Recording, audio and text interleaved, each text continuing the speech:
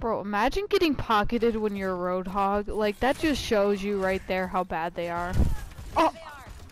That girl went flying! Did you see that? No! oh